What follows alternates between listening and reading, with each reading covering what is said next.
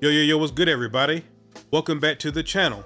In today's video, I'm gonna be doing an unboxing and introducing you guys to North Spore's Shroom Tech all-in-one bag.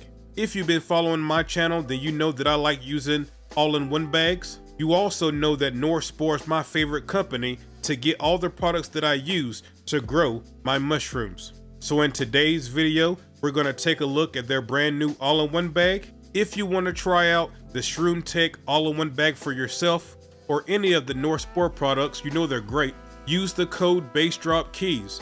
That will give you a 10% discount on any order at northspore.com. The first thing that I'm going to do is what I always do whenever I start working with my mushrooms. I'm going to take my 70% iso alcohol and I'm going to wipe down the area that I'm going to be working in. As you can see, I'm doing that now. Once I have that done, I'm going to turn on my flow hood.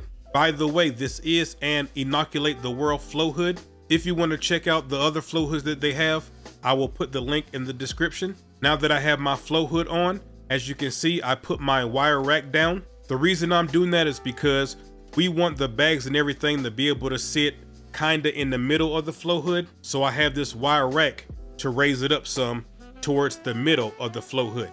Once that's done, I'm gonna take my all-in-one bag out of the box. And once I have it outside the box, I am gonna take the 70% iso alcohol and I'm gonna wipe down the front of the bag or bags, however many you have.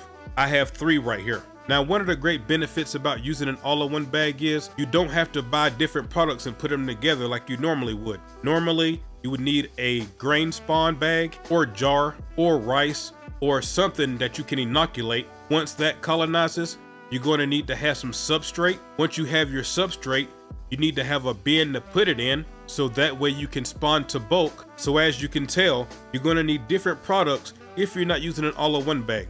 The great thing about the all-in-one bag is it has the grain and substrate already in the bag and you don't have to worry about buying a max shield bin or a mono tub or anything like that because the bag is the fruiting chamber. Now the next step in this process is taking your multi-spore syringe or your liquid culture syringe. I have liquid culture right here and we want to get ready to inoculate our all-in-one bag. Now just as a refresher for you guys, a multi-spore syringe is going to take longer than a liquid culture syringe because multi-spore syringes, whenever you inoculate something, the spores have to come together and germinate and then start producing mycelium. Whenever you're using liquid culture, there's live mycelium already inside the syringe. So if you look at it, that stuff that you see floating in the liquid, that is live mycelium. So whenever you inoculate something with it, we don't have to worry about something coming together to germinate. It's already live mycelium inside the syringe. That's why if you use liquid culture, you're going to be saving yourself two or three weeks. I basically pretty much only use liquid culture these days. So what I'm going to do now is I'm going to put the needle on the syringe. If you look the way that I do it, I make sure that I don't touch the needle at all. You see how easy it is? And then once I have the needle on there, we're ready to go. Now right out of the pack, you don't have to do any sterilization, flame sterilization or anything like that. It's ready to go. But after we inoculate each bag, I am going to flame sterilize it. Now, North Spore recommends that you use two and a half to five cc's for each bag. This is a 10 cc syringe, but the company that I use, they usually always give you more than 10 cc's. Speaking on that, if you want to know where exactly to get your spores from, all you got to do is come over to my Instagram, the Rookie Mycologist Instagram, click the Linktree link in my bio, or check the pin post. If you do that, you will see my only recommendation on where you should get your spores from. But at any rate, like I said, we want to put two and a half to five cc's in each bag. There's about 12 cc's in this syringe, so ideally I should put four in each bag or something close to it. If you notice, I am flame sterilizing the needle every time. I basically just hit the needle with this little torch, get it red hot, and then I let it cool down for five to seven seconds. Once it cools down, I go to the next bag. And so now that I have that done, I have all three bags inoculated. All I'm gonna do now is I'm gonna put them in my incubation tent. As you guys know, AC Infinity is the official tent and ventilation sponsor for my channel. If you wanna get any of the great AC Infinity products, tents, ventilation. They also have lights and a bunch of other products on their website. Use the code BassDropKeys. That will give you a 10% discount on any order at acinfinity.com. So you can see I have the bags inside of the tent now, along with some other stuff that I'm working on. You can also see that I have that shelf moved over to the right hand side. I have another shelf that's gonna fit inside this tent on the left hand side, so that's why I don't have it directly in the center, just in case you were wondering. But all right, that's how easy it is to unbox and inoculate the ShroomTek all-in-one bag from North Spore. I'm going to be doing the break and shake for these all-in-one bags. I inoculated the bags on August the 11th, and the footage that I'm showing you is from September the 11th, exactly a month later. The question that you're probably asking is, when should you do the break and shake? And the answer is, whenever you see your all-in-one bag or your grain spawn bag is about 20% colonized, go ahead and do the break and shake. The reason that we do the break and shake is because we're creating more inoculation points. So before I break up the bags, I'm showing you the mycelium growth inside the bags. By breaking it up and having more inoculation points inside the bag, that's gonna make it colonize even faster. So the break and shake step is not a necessary step. You don't have to do this, but if you want to save yourself some time, then you will go ahead and do the break and shake. If you've never done it before, you can actually feel balls of the hard mycelium inside the bag. You just want to break them up and then mix it with everything else inside the bag. That's all the break and shake is. If you're using the Uncle Ben's tech, shout out the 90 second mycology, I call it the squish and mix because you know it's bags instead of a jar. That's where the break and shake comes from. Usually they're referring to a jar because you just shake the jar all the way around and that breaks and shake it. With bags, I call it a squish and mix but you get the point. So now that you know when you should do the break and shake and why exactly you should do the break and shake, give me one second. It's time to take a break. Keys in McKenna, keys in McKenna, keys in McKenna, keys in McKenna. Drop off them packs and I'm feeling like Santa. Growing these mushrooms, I'm keys in McKenna. Growing exotics, they smell like bananas. I just got these spores and they came from Havana. Four or five pounds and I shipped to Atlanta. Growing blue meanies, they go to Savannah. Got golden teachers, they go to Montana. I gotta get paid, I'll sell to your nana. Keys in in McKenna, keys in McKenna, keys in McKenna, keys in McKenna, keys in McKenna, keys in McKenna, keys in McKenna, keys in McKenna, keys in McKenna, keys in McKenna, keys in McKenna. Drop off them packs and I'm feeling like Santa. Growing these mushrooms, I'm keys in McKenna. I'm taking a trip, I'll be gone for a minute. See in the future, I don't see I'm going to be putting the all-in-one bags in the fruiting conditions. I did the break and shake on September the 11th. Today is October the 3rd, so it's been three weeks since I did the break and shake. So if you look at the bags, you can see that they're fully colonized now, which is great. There's one of the bags that's about 95, 96% colonized, and the rest of them are 100%. So that's good enough for me. We're gonna put them in the fruiting conditions. The first thing that I'm gonna do is I'm gonna take a rubber band and I'm gonna put it around the body of the all-in-one bag. The reason why I'm doing this is because if I don't, I'm gonna have to worry about side pins. Whenever you put your all-in-one bag in the fruiting conditions or your monotub in the fruiting conditions or whatever you're doing, what's happening is you're letting in fresh air so you're getting a lot more fresh air exchange, FAE. That fresh air exchange, along with the moisture that's on top of the substrate, that's what induces our pins and really makes the mushroom start growing. So if you don't put a rubber band around the body, that fresh air will be able to get everywhere inside the bag. So that means that we're gonna have pins all over the cake, on the sides and everything. By putting the rubber band around the body, you're keeping the bag close to the substrate which is only allowing that fresh air to hit the top of the cake. What this is gonna do is that's gonna make the pins form on the top. If the pins form on the top, then the mushrooms are gonna grow on the top. And that's what I'm trying to do. You guys know that I've done an all-in-one bag in the past, but whenever I did that, I wasn't able to fruit inside the bag. This time around, I want to fruit inside the bag, so we're using a rubber band. I do want to mention though, on two of them, I'm using a rubber band, and on one of them, I'm going to leave it just like it is. That way we'll have a comparison. We'll see how they look whenever you use a rubber band and we'll see what happens whenever you don't. Now, once I have the rubber bands on the all-in-one bags, now it's time for us to cut the bag open to let in our fresh air. whenever I did this in the past, I cut it open near the top of the bag. But what I'm gonna do this time is I'm gonna cut it closer to the cake. There's two reasons why I'm doing it this way. Well, really three reasons I'm doing it this way. The first reason is by cutting it right here, the air coming in is closer to the cake, so that should help with that fresh air exchange. The second reason is, since I just told you guys that I want a fruit inside this bag, we're gonna be trying out the hoodie tech for the first time. You guys know that I was trying it on a different all-in-one bag, but that one stalled out, so I didn't get a chance to finish it. So for these bags, we're gonna try the hoodie tech. That's reason number two. And the third and final reason why I'm cutting it right here is because whenever you look at the North Spore instructions, that's what they tell you to do. so it just makes sense to follow their instructions. It's their all-in-one bag. They probably know how to do their all-in-one bag. So I'm cutting it where they say to cut it. But at any rate, there it is. That's how you put the North Spore ShroomTek all-in-one bag in the fruiting conditions. All right, guys, so it's 17 days later.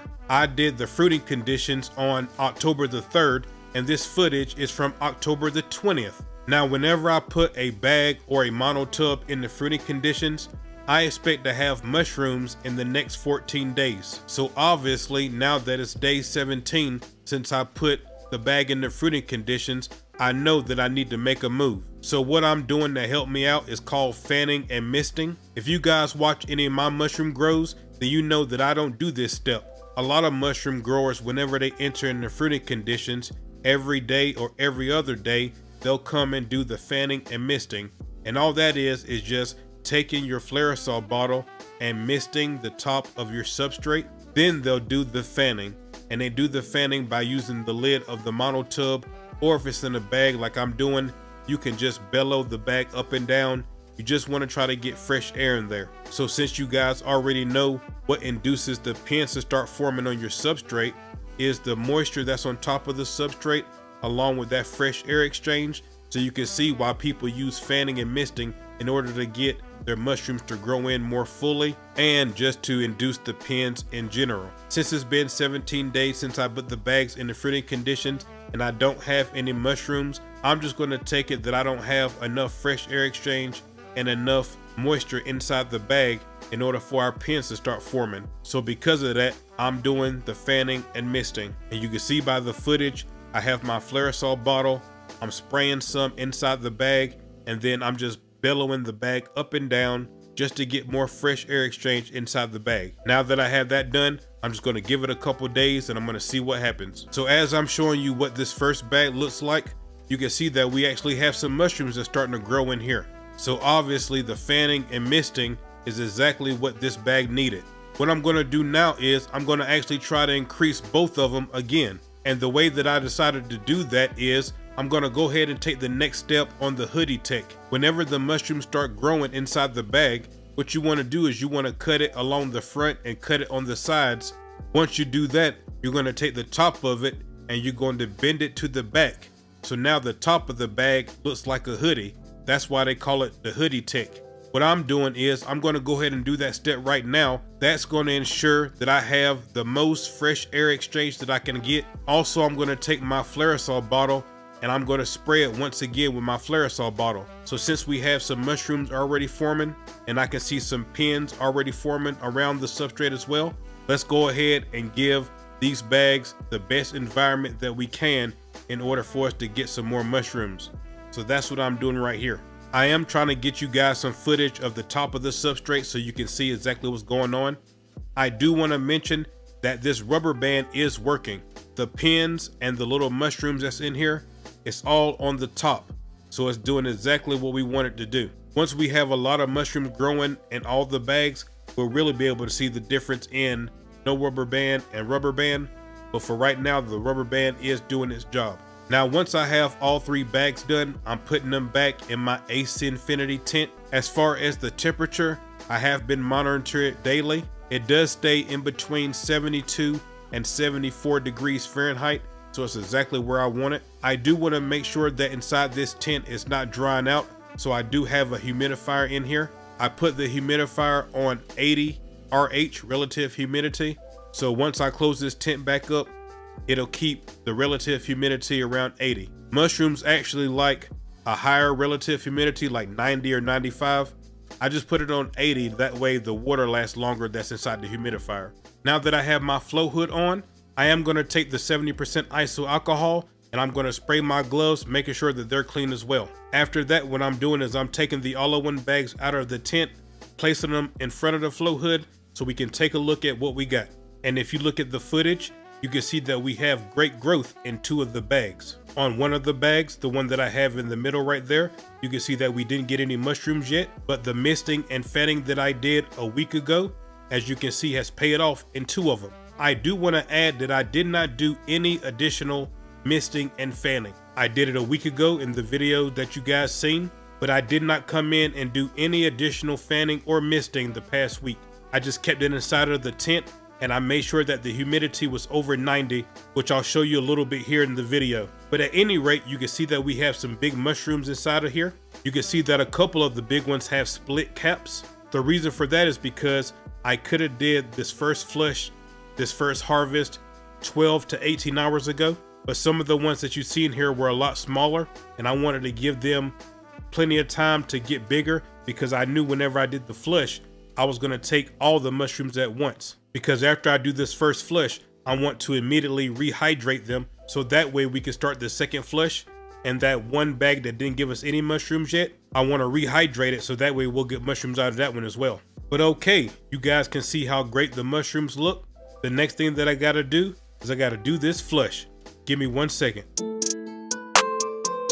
All front a couple packs, you gotta have it in the herd, in the herd, in the herd, in the herd. All front a couple packs, you gotta have it in the herd. Daniel Takashi. Talk a step Is curd, that all front a couple Supra? packs, you gotta have it in the herd, in the herd, in the herd, in the herd, in the herd. in the Hey, herd. I'm the real bully. My name bass drop, but now they call me rookie. Handful of shoes about to eat them like the cookies. Money on your head, I place a bet like a bookie. Got a hundred thousand dollars cash tucked in my hoodie. I'm all about a chicken, I ain't talking about Nike. All the broke damn days still affecting my psyche. I'm about to take over, so what you don't like me? If you disrespect me, send you to the Almighty. Cancel to my grandma what you know about pain. I don't really wanna face it, stay higher than a plane. Man, she gave me everything, even gave me my name. Cannabis and psychedelics, what's keeping me sane? My daughter ungrateful, I ain't got no love for her. Like a mama, two face changed like a transformer. Yeah, I took a couple L's, but it made me strong. If I put you on the list, then I'm sorry you were gone. My name bass drop, but now they call me rookie. Handful of shoes about to eat them like the cookies. Money on your head, I place a bet like a bookie. Got a hundred thousand dollars cash tucked in my hoodie. I ain't worried about nothing on the judge and the jury. All this dabbing in the smoking got my vision kinda blurry. In the kitchen, I'm a chef and I ain't talking Steph Curry. All front a couple packs, you gotta have it in the herd. A couple grand is what I'm making every day, but it's early. If you try me, I'ma see you to them gates that are pearly. I'ma run through a hater like my name is Todd Gurley. I'm a showtime, a sucker, I ain't talking James Worthy. I put an iron out of shooting, I ain't talking about a birdie. Buy a brick for the 20, then I sell it for the 30. I'll run down the dog and I ain't talking about a derby. They gon' find you field bullets laying dead on the gurney. I'm balling like an athlete, so I really need a jersey. Got some sisters on the knees and I ain't talking about the clergy. If you wanna do a deal, gotta send to my attorney. Eat a handful of shoes, it's not a trip, it's a journey. I put an iron out of shooting, I ain't talking about a birdie. Buy a brick for the 20, then I sell it for the 30. I'll run down the dog and I ain't talking about a derby. They gon' find you feel bullets laying dead on the gurney. My name bass drop, but now they call me rookie.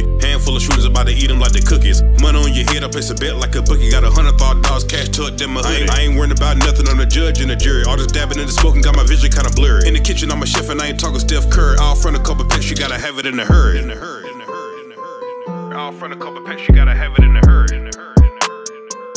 All front a couple packs, you gotta have it in the herd. Talking Steph Curry, all front a couple packs, you gotta have it in the herd. In the herd. In the herd.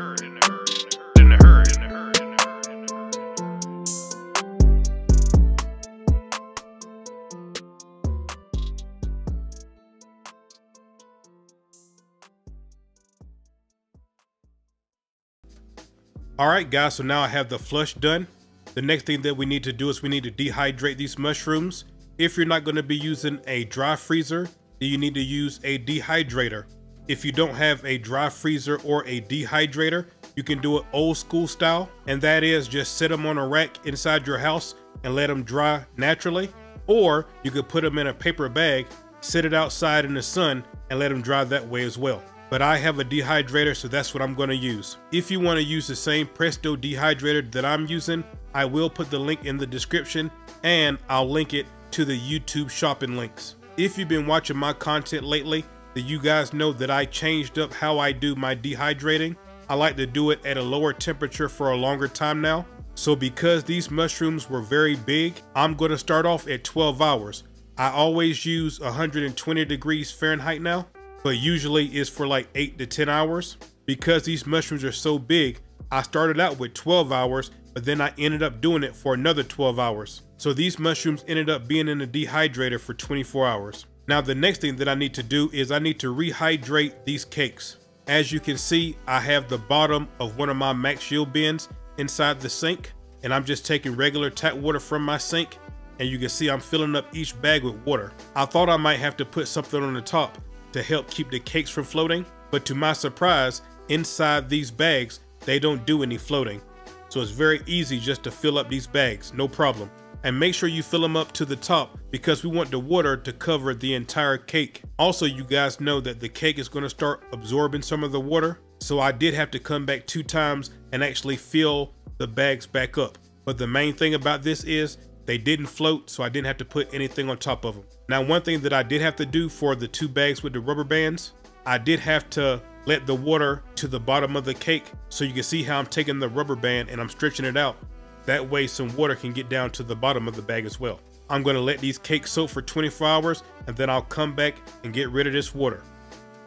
All right guys, so it's 24 hours later, November the 2nd or today, and the mushrooms have finished drying. What I'm doing is I have this scale right here.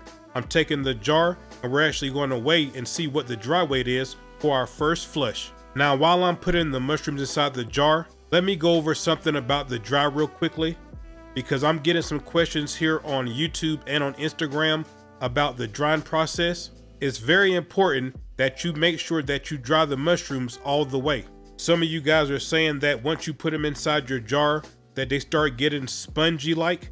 That's because you didn't have them dried correctly. Whenever you dry them, they should be cracker dry, meaning that whenever you break it, it's gonna break just like a saltine cracker. If there's any bend, any flex, if it's not cracking and breaking like a cracker, you need to let it dry for a couple more hours. So now that I have all the mushrooms inside of the jar, you can see that we got 30.9 grams for the first flush. I'm just gonna call it 31 grams. So we got 31 grams for the first flush. That's over an ounce. Hell yeah, I'm definitely happy with that. What I'm gonna do is I'm gonna take two of these dry packets, I'm gonna put them in here. And that's how I dry my mushrooms right there. Don't these mushrooms look beautiful? I think they look great. I love these big, beautiful mushrooms. Hell yeah.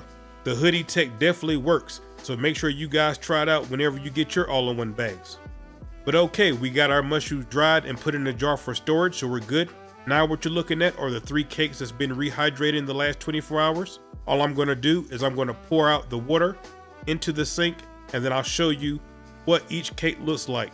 As I said previously in the video, I did have to come back and put water inside the bags two times, so they definitely did absorb some water. That's exactly what we want. Now that I have my flow hood on, I am gonna take the 70% iso alcohol and I'm gonna spray my gloves, making sure that they're clean as well. After that, what I'm doing is I'm taking the all-in-one bags out of the tent, placing them in front of the flow hood so we can take a look at what we got. And if you look at the footage, you can see that we have great growth in two of the bags. If you guys recall from the first flush, the same thing happened. So I haven't got any mushrooms from one of the bags, but the two bags keep producing. So basically I'm gonna be doing the same thing that I did with the first flush. I need to harvest the mushrooms, then I'm gonna put them in the dehydrator. I will be using 120 degrees Fahrenheit for 24 hours. The reason I'm doing that is because the mushrooms are so big. If they were smaller mushrooms, I would do 120 degrees Fahrenheit for 12 hours. I found that using less heat for a longer period of time gives me the best results, but you might want to play with your dehydrator and see what gets you the best results. Now that I have the mushrooms dehydrating in the dehydrator, I'm going to rehydrate the cakes once again. I'm just filling them up with water right out of the tap once again, and they will soak for 24 hours before I pour it out and put it back in the tent. So like I said, I'm gonna do the same thing that I did on the first flush. Give me one second, let me get this work done, and then we'll find out what the dry weight is for the second flush. Keys in Montana, keys in Montana, keys in Montana, keys in Montana. Drop off them packs and I'm feeling like Santa. Growing these mushrooms, I'm keys in McKenna. Growing exotics, they smell like bananas. I just got these spores and they came from Havana. Four or five pounds and I shipped to Atlanta. Growing blue meanies, they go to Savannah. Got golden teachers, they go to Montana.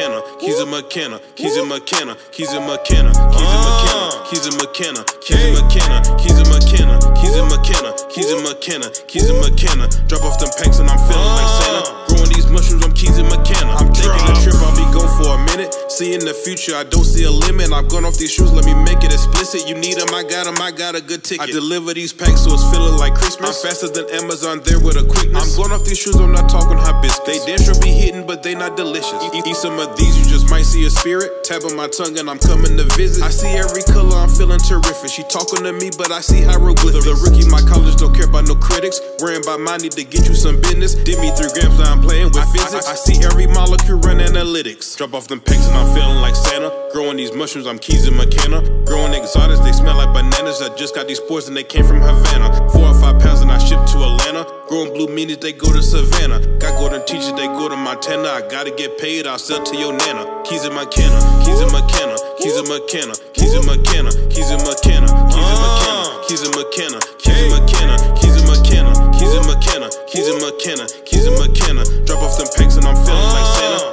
Mushrooms, I'm in McKenna. I'm hitting this DMTC and these patterns. My life is all digital now, I'm on Saturn. I follow my instincts, I don't need a lantern. I'm taking my eagles and kill them, then plant them. Pop me some shoes and I'm going in a hurry. I'm seeing my future, my vision is blurry. The place that we're going is safe, do not worry. I feel like a ghost, but I don't see Bill Murray. One or two grams got me on a space shuttle. I see many galaxies, don't need a hubble. They hitting me hard, they not coming on subtle. I'm trying to let go, but it's really a struggle. I'm feeling so small, I could swim in a puddle. I was so broken, emerged from the rubble. If I'm needing a reset, the dose might be double. It's making me balance and keeping me humble. Drop off them packs and I'm feeling like Santa. Growing these mushrooms, I'm keys in McKenna. Growing exotics, they smell like bananas. I just got these spores and they came from Havana. Four or five pounds and I shipped to Atlanta. Growing blue meanies, they go to Savannah. Got golden teachers, they go to Montana. I gotta get paid, I'll sell to your nana. Keys in McKenna, keys in McKenna, keys in McKenna, keys in McKenna, keys in McKenna, keys in McKenna, keys in McKenna, keys in McKenna, keys in McKenna, keys in McKenna, keys in McKenna, keys in McKenna. Drop off them packs and I'm feeling like Santa. Ah. Growing these mushrooms, I'm keys in McKenna, keys in McKenna.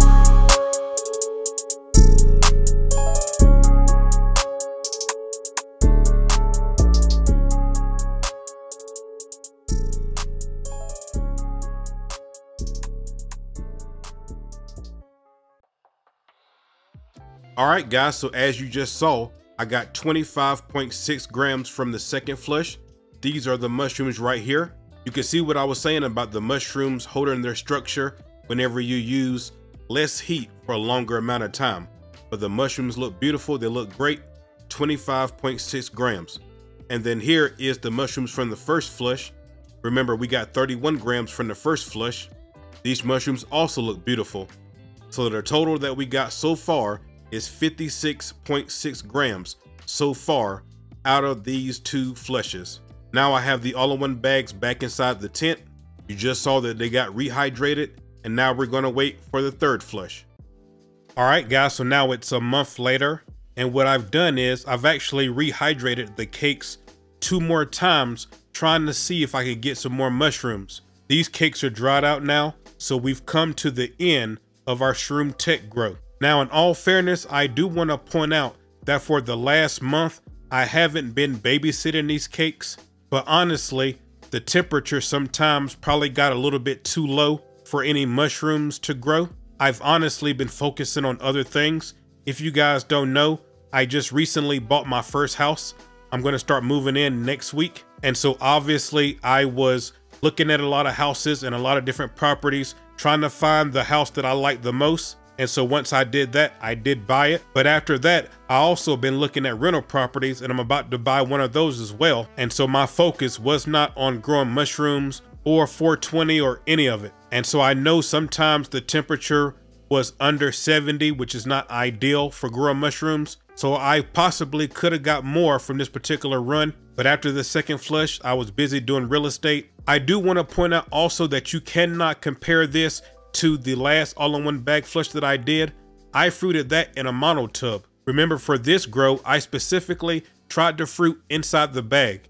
because it's less surface area, I'm gonna get less of a yield inside the bag. So don't compare it to my other all-in-one bag grow, it's not the same. But all right, guys, that's gonna do it for today's video. The new content will be starting in a couple weeks once I get moved into the new house. Also, guys, if you wanna support the channel, I do have some brand new designs on the website, therookiemycologist.com. Come over and check them out. And don't forget, if you spend at least $25 on the site, use the code ROOKIE and that will give you a 10% discount on my website at therookiemycologist.com. If you like my music, come subscribe to the Bass Drop Keys music channel. I'm dropping a new song every two weeks or less on the channel, so come subscribe to my music channel. Thank you guys so much for watching. I really appreciate all of you. And until I see you guys the next time, peace, guys. Rookie out.